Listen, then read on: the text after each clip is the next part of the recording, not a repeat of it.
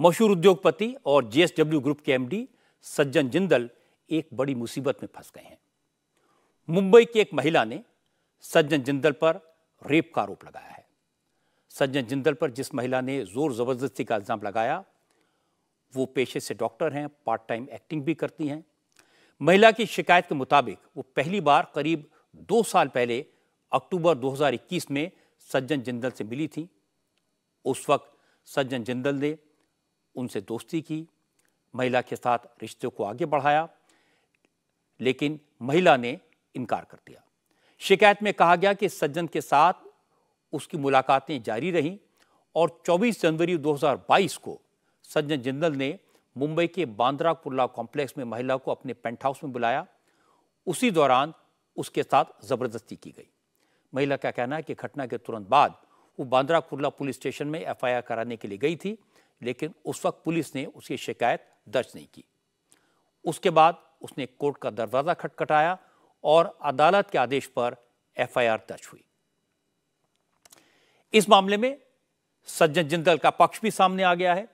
सज्जन जिंदल की तरफ़ से जारी किए गए बयान में कहा गया है कि यह स्टेटमेंट जिंदल स्टील की तरफ़ से नहीं, बल्कि सज्जन जिंदल ने अपनी पर्सनल कैपेसिटी में जारी किया है। बयान में कहा गया कि सज्जन जिंदल इन झूठे और निराधार आरोपों को खारिज करते हैं। वो जाँच में पूरी मदद करने को तैयार हैं।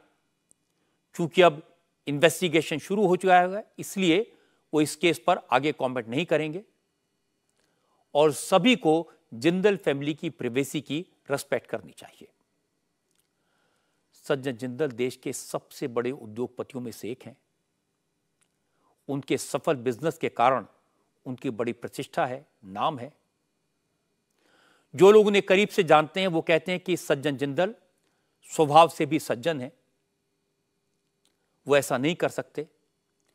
पर उन पर जो आरोप लगे हैं, वो इन सब धारणाओं से बिल्कुल उल्टे हैं।